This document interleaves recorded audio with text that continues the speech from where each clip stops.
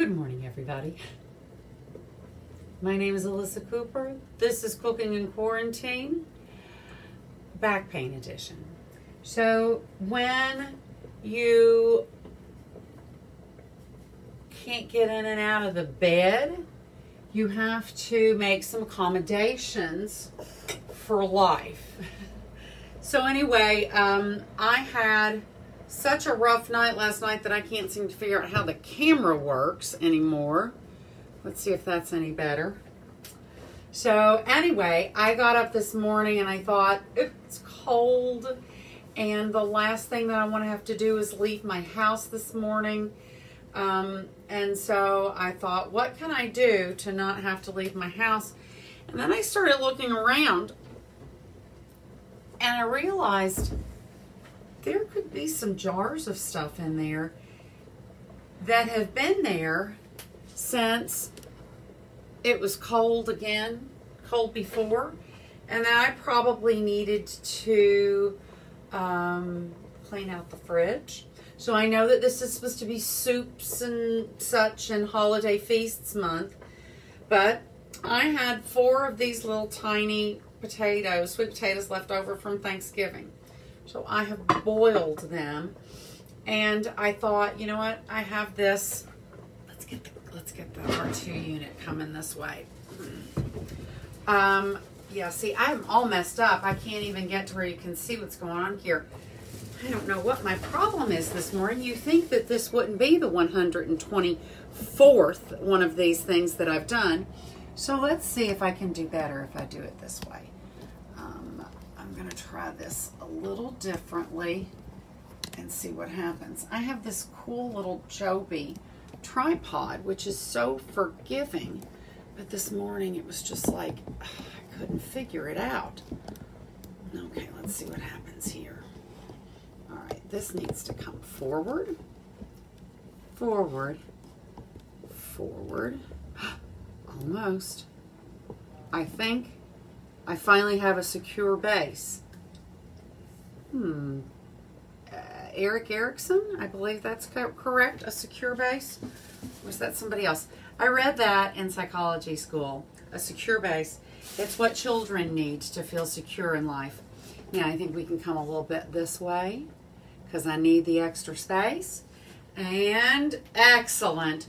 All right, let's try this again. Hi, everybody. Good afternoon. My name is Ellisa Cooper, and this is Cooking in Quarantine. I did something yesterday. I literally, I was in so much pain, I couldn't catch my breath.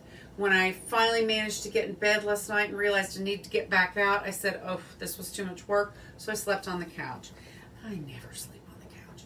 So anyway, um, when I got up this morning and I didn't want to leave the house, I thought, what can I do? And I said, what I should do is kind of clean out the fridge. I've got these cute little tiny sweet potatoes.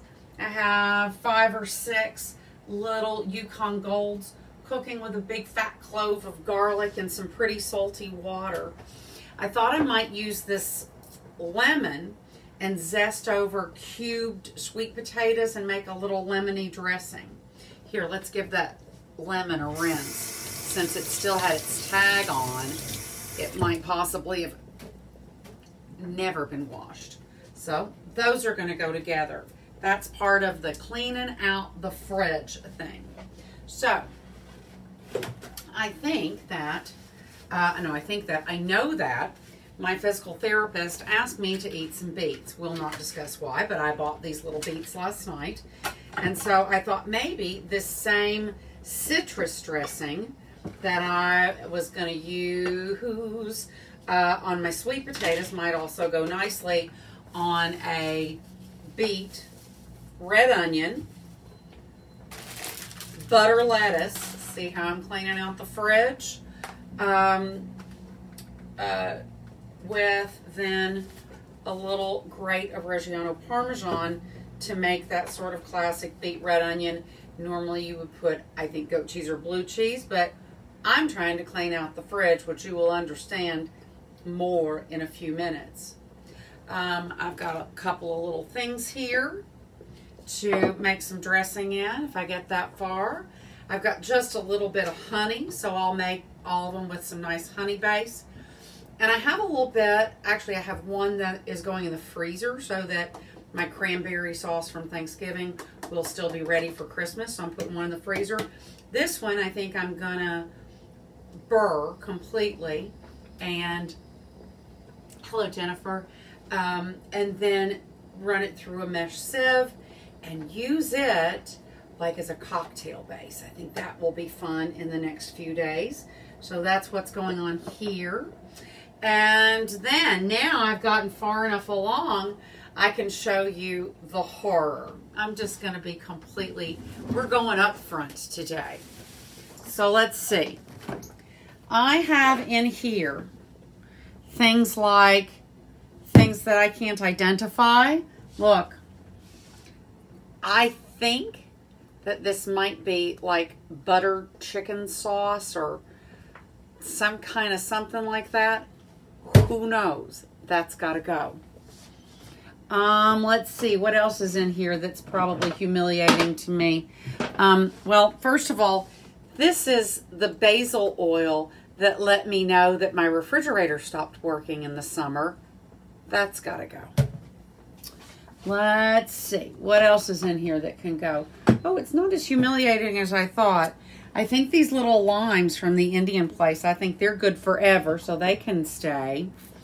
And, oh, here's a couple of things. Let's see. Now,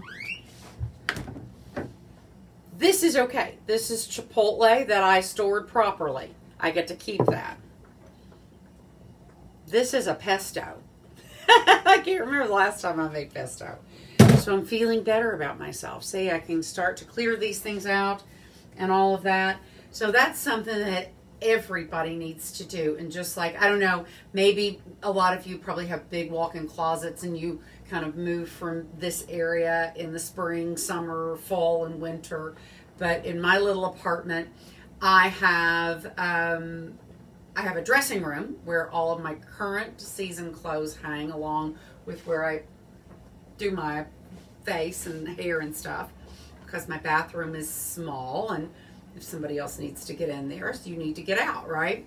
Um, and then, uh, so then I have another closet area where everything, where all the coats of all seasons, all of the decorations, all of the changes of pillow covers and bedding and they all have to get stuffed into this one place. So it's a really big deal to have to make that shift for me. Um, and so I've almost gotten it done. I still have shoes. And hello, Denise. If I could bend over, I would be happy to do the shoes. I'm just afraid that if I got down on a low enough stool to do the shoes, that I might not ever get up like last night pulling my, my left leg out by using my right leg. So anyway, that's just what I'm going to do. And I kind of have this feeling like I would really like to kind of keep it light. And so just a little sweet potato. I've got, of course, I've always got this big larder down here that has nuts and, uh, and uh, croutons and um, all kinds of little things, at rice, and usually there's uh, uh, some kind of quinoa or uh, couscous. I love couscous, which is such a super simple, wonderful, easy side. And that just has inspired me that depending on how things go and if I can bend over tomorrow or not, uh, maybe what we'll do is make a really awesome salad from my past that I love that you do um, a curried couscous with dried fruit and toasted nuts and uh, poached chicken. I probably will not poach my chicken, or maybe I will, you never know, uh, as a base to a salad that is just one of the most wonderful things. So that might be on because I might need to just take a little break from soup making because it's hard to make a little bit of soup. Um, so anyway, that's my kind of my story for today, guys. I'm sorry I'm not really cooking or putting anything together because, I mean, I can't bend over. Um, my friend Kelly says that I should call the physical therapist and tell her that just because I am a cooper and can manage to uh, just, you know, suck it up and walk off the pain doesn't mean that that is what humans were meant to do.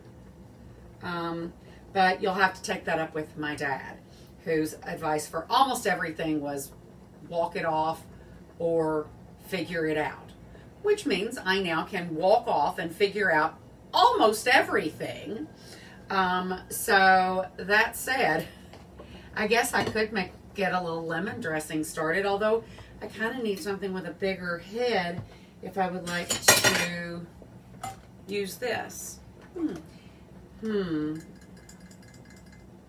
I can do this in a different thing. Anyway, see guys, I'm really not thinking clearly.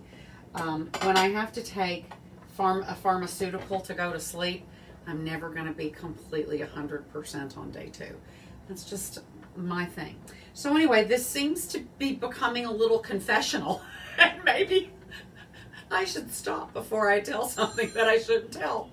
Oh my goodness. Somebody probably stopped calling me because they realized it was the 12 o'clock half hour. So anyway, guys, do what you need to do. I am pretty confident that my pain is because my body is compensating for weird things that I've done for decades. And I really am so much better than I was yesterday. I can't even express. So, no worries. Just, you know, send out good thoughts to uh, the universe. See, I forgot to turn the overhead lights on. That's where I am today. But it was a nice sunny morning earlier today. So, anyway, for those of you who have snow, have a snow day. For those of you who have sun, take a walk outside. Um, for all of you, eat healthfully, keep positive, and do something kind for yourself and somebody else. That's all. Thanks a million. See, I leaned forward in the wrong way. Have a great day, guys. Ciao. Hello, Michael, Mick, how are you, love? Oh, well, thank you. Thank you for coming. Ciao.